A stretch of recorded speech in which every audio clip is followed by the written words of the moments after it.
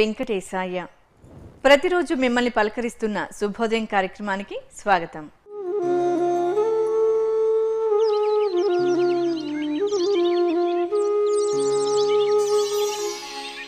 ఓ హనుమంత అంజనీ సుత సద్గుణవంత శ్రీరామదూత. తెల తెలవారెను నిదుర మేలుకో తెలవారనిదే నిదుర మేలుకో ఓ హనుమంత అంజనీ సుత సద్గుణవంత శ్రీరామదూత. తెల తెలవారెను నిదుర మేలుకో తెలవారనిదే నిదుర మేలుకో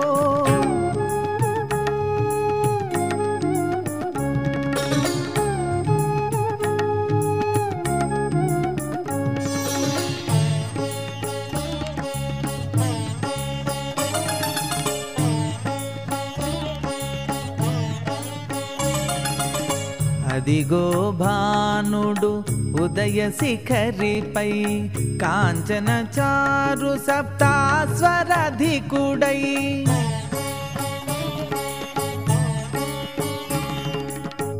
అదిగో భానుడు ఉదయ శిఖరిపై కాంచన చారు సప్తాస్వరధికుడై.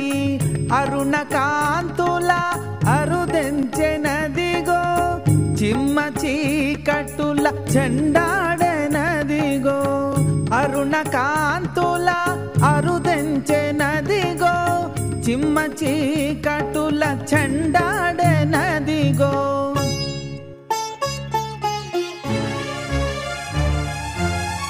ఓ హనుమంత అంజనీ సుత సద్గుణవంత శ్రీరామదూత తెల తెలవారెను నిదుర మేలుకో తెలవారనిదే నిదుర మేలుకో.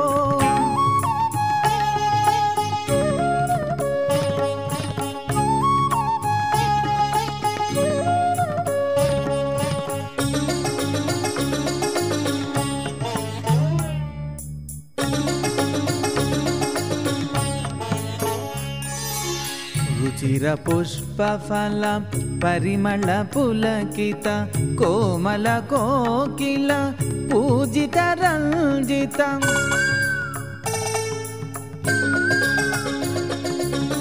రుచిర పుష్పఫల పరిమళ పులకిత కోమల కోకిల పూజిత రంజిత. నిత్యర శృంగ తరంగ నినాదిత గంధమాదన గిరినెల కొన్న నిత్యర శృంగ తరంగ నినాదిత గంధమాదన గిరినెల కొన్న.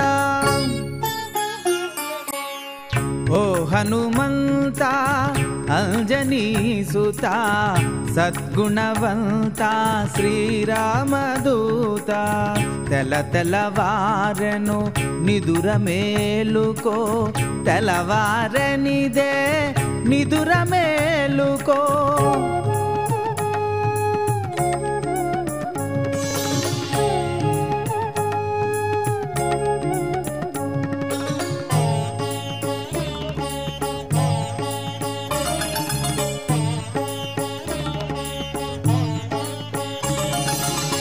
చతుర్వేద వాన్మయ చతురా నవ వ్యాకరణ నవ పారీణ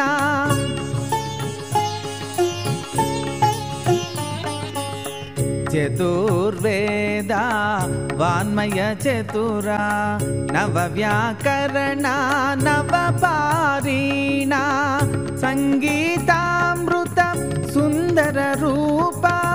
నీ సరివేలుపు మరియవరయ్యా. సంగీతామృత సుందర రూప నీ సరివేలుపు మరియవరయ్యా. ఓ హనుమంత అంజనీ సుత సద్గుణవంత శ్రీరామదూత తెల తెలవారెను నిదుర మేలుకో తెలవారనిదే నిదుర మేలుకో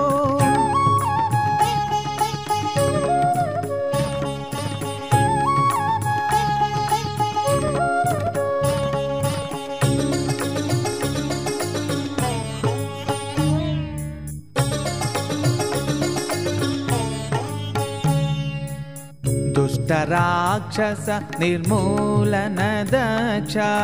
शिष्टजनावलि निरुपम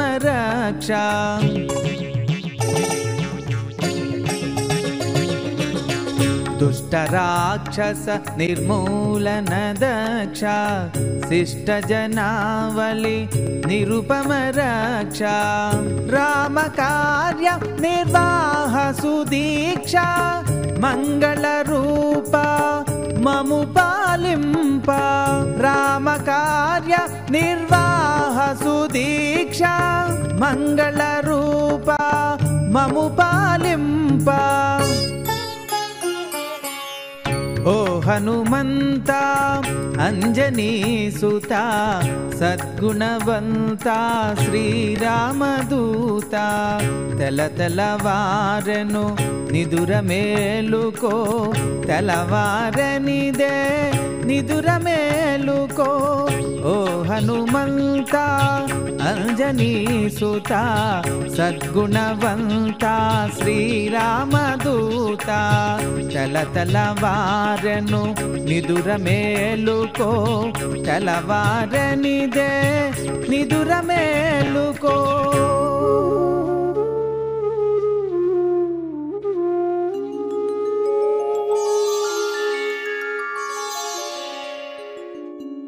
మన సనాతన ధర్మంలో ఎన్నో విషయాలను ఆనాడే మన ఋషులు మునులు చెప్పారు. వాటిలో కొన్ని విషయాలను ఋషివాక్యం ద్వారా తెలుసుకుందాం. శ్రీ వెంకటేశాయ శ్రీనివాసాయ గోవిందాయ నమో నమ. నమో మహద్భ్యో ఋషిభ్యో గురుభ్యో నమ. చైత్రమాసం మధుమాసం దాని యొక్క వైశిష్ట్యాన్ని మనం చెప్పుకుంటూ ఉన్నాం. ఈ వసంత ఋతువులో ప్రతిరోజుకు ప్రత్యేకత ఉన్నది. పైగా సృష్టి ఆరంభపు కాలమే వసంతకాలము అని పురాణములు చెప్తున్నటువంటి అంశం. చైత్రమాసంలో వచ్చేటువంటి ప్రథమ తిథి నాడు బ్రహ్మదేవుడు సృష్టిని ఆరంభించాడు అని ఒక కథనం మనకు కనబడుతున్నది. అందుకే మనం దాని సంవత్సరాలుగా జరుపుకున్నాం. అటు తర్వాత వచ్చే తిథుల్లో కూడాను ఇది సృష్టి ఆరంభపు కాలం గనక దీనికి ఎక్కువ ప్రాధాన్యాన్ని ఇచ్చారు. చైత్రశుక్ల తృతీయ నాడు మత్స్యోత్పత్తి జరిగింది అని మనకి శాస్త్రములు చెప్తున్న అంశం. అంటే మత్స్యావతారం ఆవిర్భవించినటువంటి రోజు అని చెప్తున్నారు. మత్స్యావతారం కేవలం ఒక చేప రూపంతో భగవానుడు వచ్చాడు అని చూడడం కాదు. ఆయన కాలస్వరూపంగా ఒక కాలం నుంచి మరొక కాలానికి వచ్చే మార్పులో గతకాలపు బీజాలను కాపాడిన అవతారం మత్స్యావతారం. అంటే అప్పటి వరకు ఉన్నటువంటి యుగం పూర్తయి తర్వాత యుగం ప్రారంభమవుతున్నప్పుడు ఆ కల్పాంత కాలంలో ఇదివరకటి సృష్టి యొక్క ప్రధాన బీజముల్ని ఆయన సత్యవ్రతుడు అనేటువంటి రాజు చేత కాపాడేలా చేశాడు. ఆ తర్వాత ఆ మహానుభావుడు కూడా మనువు అయ్యాడు వైవస్వత మనువుగా అయ్యాడు. అందుకు ప్రధానంగా ఈ చైత్రమాసంలోనే మత్స్యావతారంగా స్వామి ఆవిర్భవించి బ్రహ్మదేవునికి వేదములు అనుగ్రహించినటువంటి వాడు. దీన్ని బట్టి మత్స్యావతారంలో మరొక కోణం మనం చూడవలసింది ఏంటంటే వేదోద్ధారకుడని వేదోద్ధర తిరు వెంకటనాయక నారాయణతే నమో నమో అన్నాడు కదా మహానుభావుడు అన్నమాచార్య వారు అందుకు ఆయన వేదోద్ధారకమైన విష్ణు స్వరూపం వెంకటేశ్వర రూపం ఏదే అంటే మత్స్యావతారం. ఒక విధంగా మత్స్యావతారం గురుస్వరూపం అని చెప్పుకోవాలి. పూర్వకల్పం పూర్తవగానే మళ్ళీ కల్పం ఆరంభమయ్యే వరకు కూడా బ్రహ్మదేవునికి ఒక నిద్ర ఉంటుంది. ఆ నిద్ర బహుకాలం ఉంటుంది. అంత నిద్రాకాలంలో సర్వజగత్తు ఏకార్ణవమైనప్పుడు కేవలం ఈ మహానుభావుడైన మత్స్యావతారమే తన మాయతో ఒక నౌకని సృజించి ఆ నౌకలో సప్తర్షుల్ని సత్యవ్రతుడు మొదలైనటువంటి వారిని పెట్టి ఆ తర్వాత ఆయన ఆ నౌకని వాసుకనే సర్పాన్ని తాడుగా పెట్టి తన యొక్క కొమ్ముకు కట్టి ఆ నౌకను స్థిరంగా నిలిపి అంత ప్రళయకాల వేళలోనూ జ్ఞానాన్ని బోధించాడు అక్కడ ఉన్నటువంటి మహర్షులకు ఆ మహానుభావుడైనటువంటి సత్యవ్రతుడికి కూడా. ఈ విధంగా ఆయన జ్ఞానాన్ని బోధ చేసిన కారణంగా జ్ఞానావతారం అని చెప్పుకోవాలి మత్స్యావతారాన్ని ఇక్కడ. కేవలం వేదాలను ఇవ్వడమే కాకుండా ఒక మహాప్రళయ కాలంలో జ్ఞానాన్ని బోధించినటువంటి వాడు మత్స్యావతారం. అందుకే మీనవేషి మత్స్యవేషి అయినటువంటి స్వామి యొక్క స్వరూపాన్ని ధ్యానం చేసి నమస్కరించవలసింది. ఈ మత్స్యనారాయణ స్వరూపమే వేదనారాయణ మూర్తి అని కూడా చెప్పబడుతుంటుంది ఇక్కడ. కానీ వేదములు ఉద్ధరించడం అనేది బ్రహ్మదేవునికి ఇచ్చినప్పుడు చేసింది ఒక పని అయితే ఒక మహా కల్పాంత కాలంలో ఆ మహానుభావుడు సర్వజ్ఞానాన్ని సప్తర్షులకి బోధించినటువంటి వాడు గనక సంపూర్ణంగా జ్ఞానావతారం. నారాయణుడు జ్ఞానావతారాలు మన హయగ్రీవ స్వామిని ఎలాగైతే చెప్పుకుంటామో మత్స్యావతారాన్ని కూడా ఆ విధంగానే చెప్పుకోవాలి. యజ్ఞావతారం వరాహస్వామి అయితే జ్ఞానావతారం మత్స్యావతారం అని చెప్పబడుతున్నది. అందుకే మత్స్యావతారం అత్యంత ప్రాధాన్యం కలిగి ఉన్నటువంటిది. దాన్ని ఏదో సామాన్యం అనుకోవడానికి వీలు లేదు. అదేవిధంగా చైత్రమాసంలో వచ్చే తర్వాత తిథుల్లో పంచమి మొదలైన వాటికి కూడా విశేషమైనటువంటి ప్రాధాన్యాన్ని ఇచ్చారు. చైత్రశుద్ధ పంచమి నాడు నాగపూజ చేయాలి అని ఒక విధానాన్ని శాస్త్రంలో చెప్తున్నాయి ఇక్కడ. ఎందుకంటే సాధారణంగా నాగపంచమన వ్యవహారం మనం చూస్తుంటాం. అది శ్రావణ మాసంలోనూ కార్తీక మాసంలో కూడా కనబడుతుంటుంది. వాటికంత ప్రాధాన్యం ఉన్నదో ఈ చైత్ర శుక్ల పంచముకు కూడా అంత ప్రాధాన్యమని చెప్తున్నారు. ఇక షష్ఠి సుబ్రహ్మణ్యారాధన ప్రాధాన్యం గురించి మనం ఎలాగూ స్మరించుకున్నాం. చైత్ర శుక్ల అష్టమి నవమి ఈ రెండూ చాలా ప్రధానంగా చెప్పబడుతూ జగన్మాతని మొత్తం నవరాత్రులు ఆరాధించలేని వారు ఈ అష్టమి నవమి అయినా ఆరాధించాలి అని చెప్పారు ఇక్కడ. ముఖ్యంగా శివపురాణం చెప్తున్న ప్రకారంగా ఈ చైత్రశుద్ధ నవమి నాడు పార్వతీదేవిగా ఆ జగన్మాత ఆవిర్భవించింది. అని స్పష్టమైనటువంటి తిథులతో సహా వ్రాసిపెట్టబడి ఉన్నది. అందుకే మధుమాసే అని చెప్తూ శుక్లపక్ష నవమ్యాం మృగధిష్ణ్యకే అన్నారు ఇక్కడ. అంటే అప్పుడు మృగశిరా నక్షత్రంతో అమ్మవారు ఆవిర్భవించారట. రామావతార కాలానికి పునర్వసు నక్షత్రం ఉంది అక్కడ.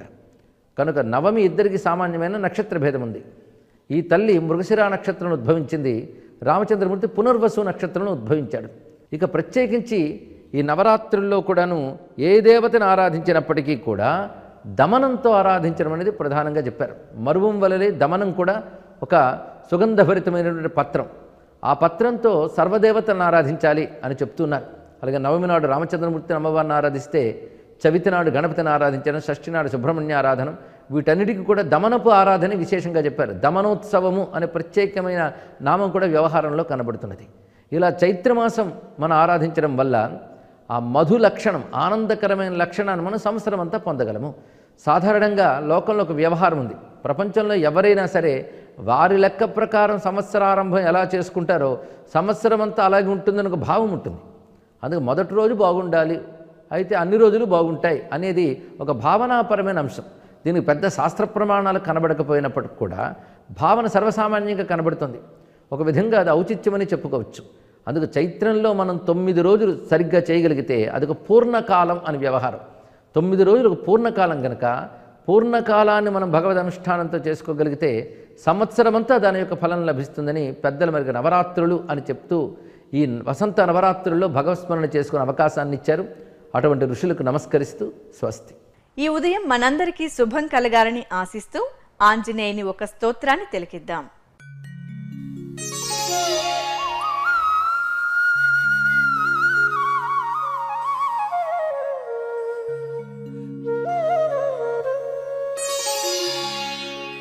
मनोजवं मारुततुल्यवेगम् जितेन्द्रियं बुद्धिमतां वरिष्ठम् वातात्मजो वानरयूधमुख्यो श्रीरामदूतो।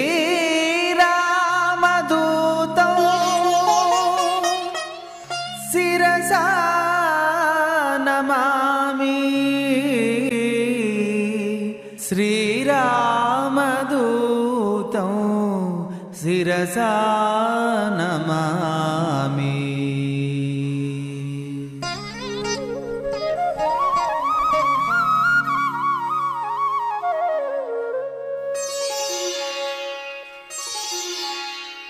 చైత్రమాసం విశిష్టతను ఈరోజు కొంత తెలుసుకుందాం. తరుణారుణ కరుణామయ విపులాయతనయనం కమలాకుచ కలశీభర విపులీకృత పులకం మురళీరవ తరళీకృత మునిమానసనలినం మమ ఖేలతి మదచేతసి మధురాధరమమృతం చైత్రమాసంలో మనం శ్రీ మహావిష్ణువుని కృష్ణునిగా కాలస్వరూపంగా కీర్తించుకోవాలి కనుక శ్రీకృష్ణ పరమాత్మ యొక్క దివ్యమైనటువంటి ఆ వదన సౌందర్యాన్ని వర్ణించేటువంటి ఈ శ్లోకాన్ని పఠించుకోవడం అనేటువంటిది చక్కటి శ్రేయస్సులను కలుగు చేస్తుంది మనకి. ఆ వదనారవిందం ఎలా ఉందంటే తరుణారుణ కరుణామయ విపులాయ తనయానం. ఆ వదనారవిందంలో ఉండేటువంటి కన్నులు అతి దీర్ఘములై చక్కగా కమలపత్రాల్లో ఉన్నాయట.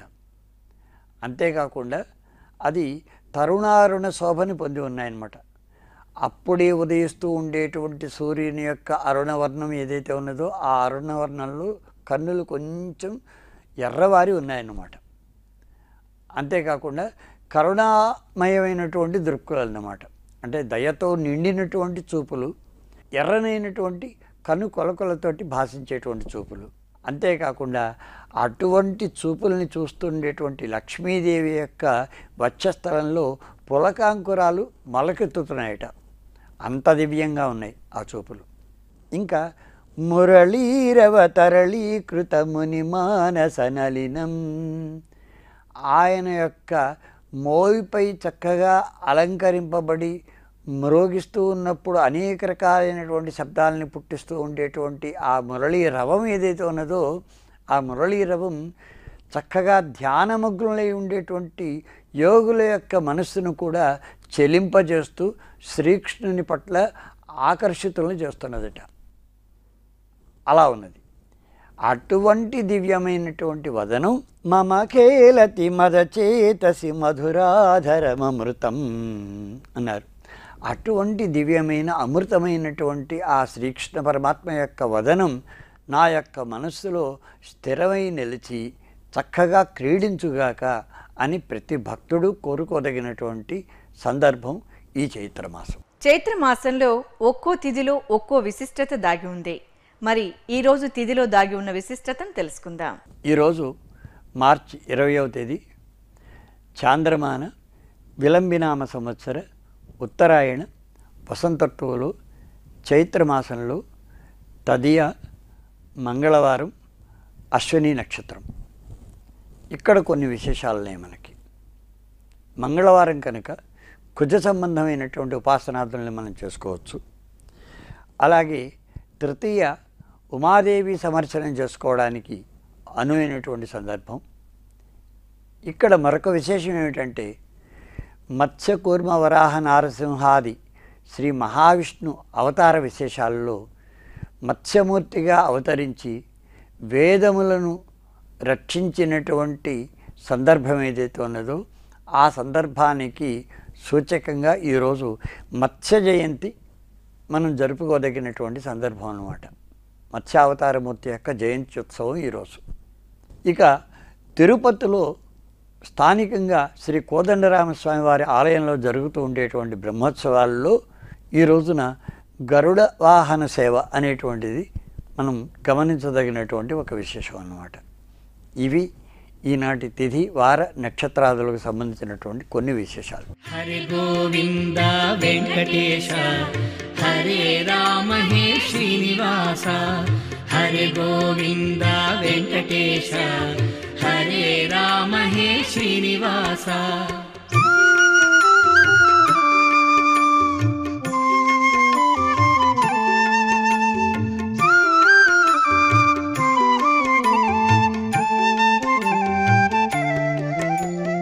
कमलनयन श्रीवेङ्कटेश कमलनाभ श्री श्रीनिवास कञ्जदलनेत्र वेङ्कटेश कलियुग जीवा श्रीनिवास कामपाल श्रीवेङ्कटेश कीर्तनप्रिय श्रीनिवास हरे गोविन्द वेङ्कटेश हरे राम हे श्रीनिवास हरे गोविन्द वेङ्कटेश हरे राम हे श्रीनिवास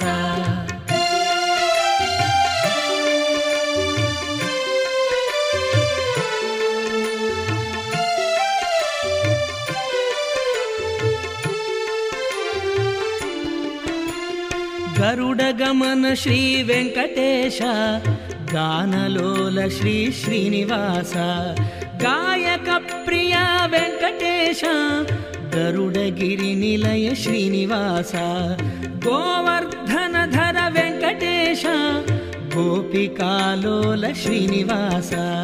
हरे गोविन्दा वेङ्कटेशः हरे रामहे श्रीनिवासः। हरे गोविन्द वेङ्कटेश हरे राम हे श्रीनिवास।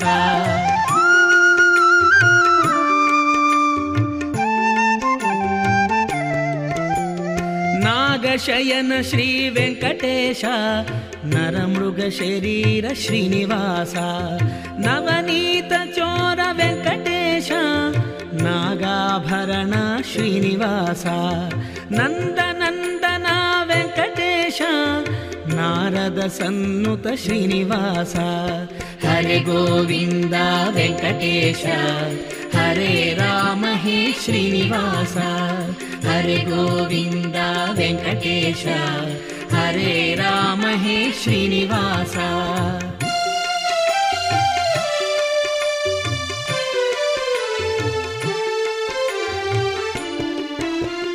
धर्मरक्षका वेङ्कटेश। तनुजनाशक श्रीनिवासः दामोदर हरे वेङ्कटेशः दयासमुद्रा श्रीनिवासः दारिद्र्यदमन वेङ्कटेशः दीनदयाळो श्रीनिवासः। हरेगोविन्द वेङ्कटेशः हरे राम हे श्रीनिवास। हरे गोविन्द वेङ्कटेश ఈనాటి శుభోదయం కార్యక్రమం మిమ్మల్ని అలరించిందని ఆశిస్తూ రేపటి శుభోదయం కార్యక్రమంలో కలుసుకుందాం. ఓం నమో వెంకటేశాయ.